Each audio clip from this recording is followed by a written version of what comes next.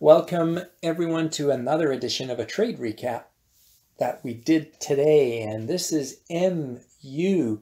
Now I'm opening the um, the recap here with SPY, and the reason for this is you have to look at the market when it opens.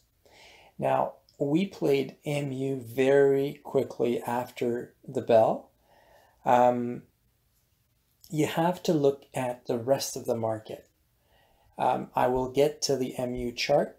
However, this is the chart as it was pre-market. Basically, these this is the end of the day that we have um, on yesterday, and then slowly getting down to to get ready at 9:30. Now you see that there's a common uh, common number here at the top. See this uh, 448.36. Um, this creates ob the obvious resistance. So this is telling you that at the end of the day on Wednesday, it didn't want to cross it. And again, as we were to get to the open this morning, it went very close to it. And as soon as the bell rang, we started going down. So how far down, we have to look at the previous day and basically the 440 four line somewhere in this vicinity here. See, this is previous day low. Pretty much this is where we went. See this wick? I believe we're very close to this wick. 444 was tested again. It held, and I believe we had this bottom the day before as well, maybe a little lower. So basically we have um, a low that was tested. And if you look at the intraday, I mean, this is a side note, but for all of you new members, you will see a lot of this when you get to trade something. Um, the line that you see, the yellow line, there's a bump to support. Your target should be first resistance, which is right this here, right? Now, there are a lot of videos posted about this in here, so the idea is not this. We're going back to the MU. However, I just want to point out something. This 448.36, do you think I'm pulling this out of a hat? Maybe not.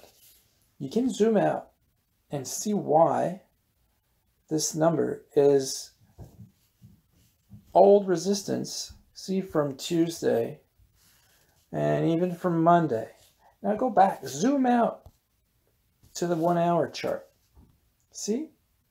Oh, it used to be support.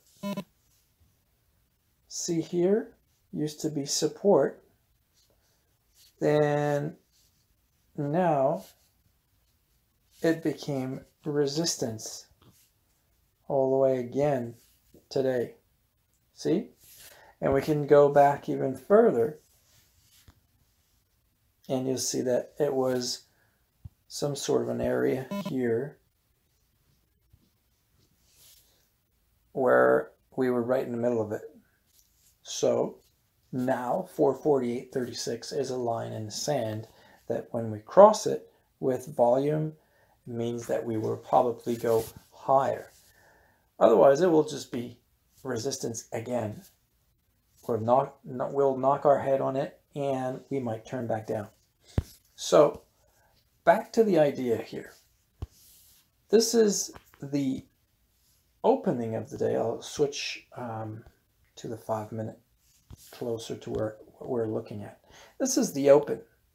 9.30, as soon as we started the day, it started going down. Okay, let's switch to the MU chart. Now this is the MU chart. Opening of the day, we see that there is a, uh, show you right here.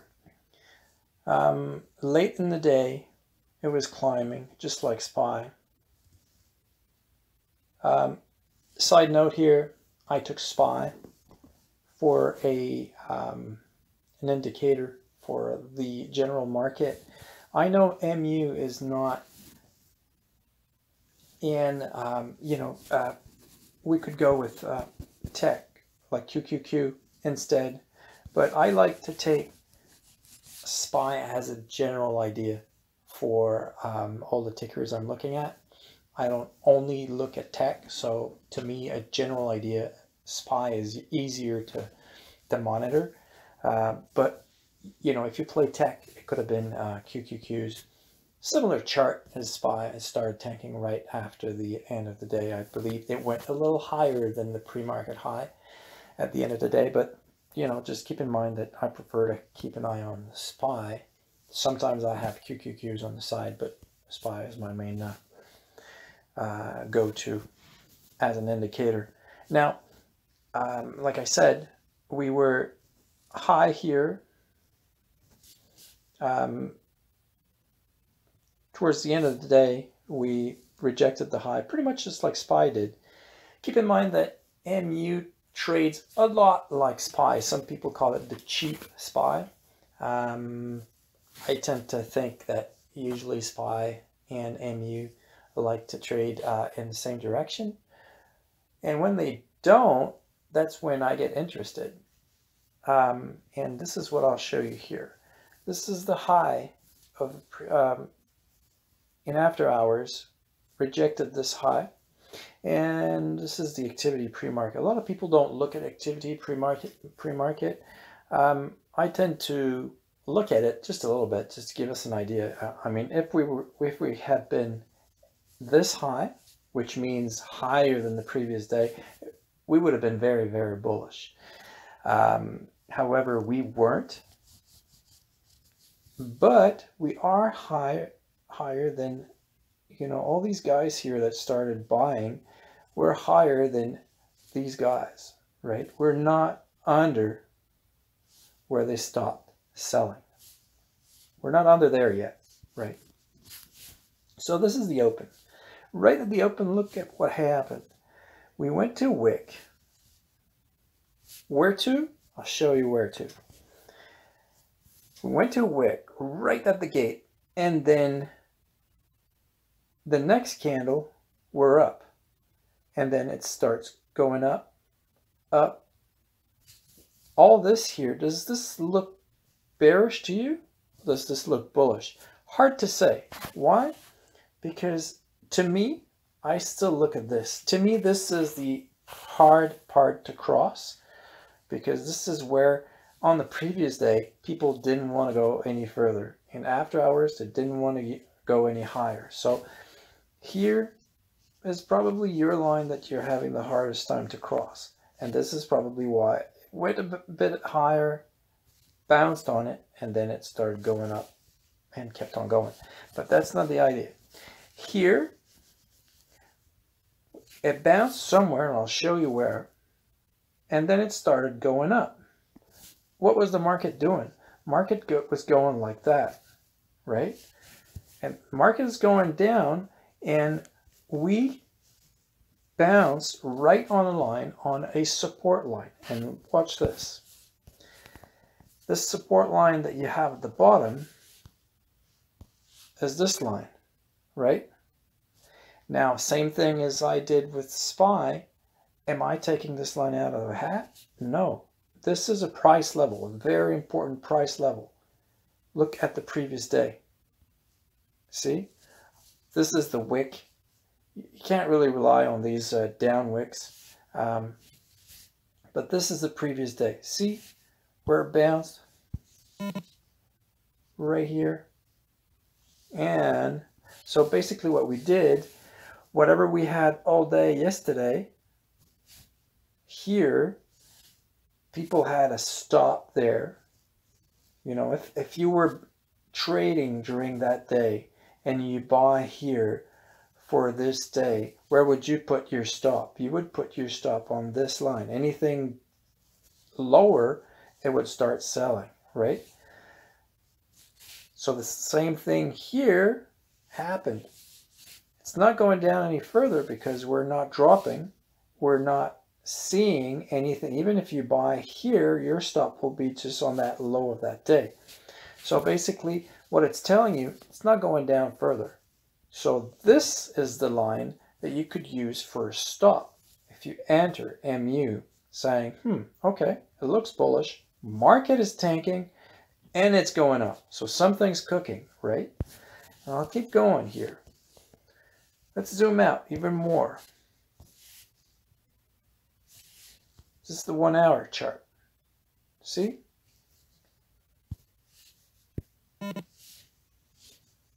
It was resistance.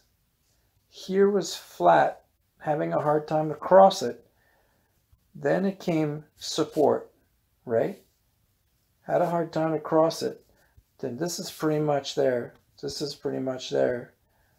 It was really close to it and then bang on. Now, you see this line? This was what I was looking at. Basically, we came down here. It never went down further than that line. Obviously, all this area underneath here becomes for the bears, right? This is where the bears will start to be happy because we're breaking under a support line. We didn't break under that line and the market was tanking. So what it's telling you is as soon as the market starts to go that way, well, basically, like I said in chat, this is downwind sailing. It's easy, fast, and everyone's happy. So downwind sailing doesn't mean that the ticker is going down though. So let's go back to this um, five minute sorry, I'm not in at the right place. Let's go back to the five minute um, chart. So basically I alerted as soon as I noticed that we were um, not moving with the rest of the market here, we were crossing over, market was tanking, we were going up. This is the cue, right? And obviously when you enter a trade, you need to find the proper exit. So you have to look at where we can stop. Basically, you have to look at the other lines, right? This was a line. See, all these are two lines that are together.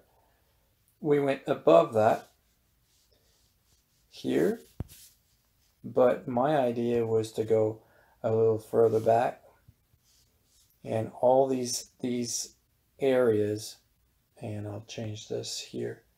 So you put this here. See how it's magically a support line? This guy here becomes this guy here and then this double top here becomes this high there and then then here becomes this high. All this you have to see it. However um, you have to be ready to take some profit out on your way up which is what we did in um, on on this play. Um, we played the 74 strike because my target was in the 74 area and higher. We were um, in the uh, 73 5 zone. So as soon as we start hitting anything higher than 74, I mean, the delta is going to go with us and profit is going to be uh, very good as well. So we hit a more than 100% on this play, exiting uh, I believe we had three exits called on it, but on the way up. So basically, things to remember. You look at the market, what the market is doing, and this is going completely opposite of the market. It's bouncing on support hard while the market is tanking back to support. So as soon as it starts turning over, your play is going to be even uh, stronger. Um, so again, it's support and resistance. And we have shown you a lot of this in previous videos. And I really hope that this one is helping you um, to understand how to get in, reaching targets, and using the market as a uh, barometer of uh, where you should go. So uh, thanks for watching, and I'll see you again.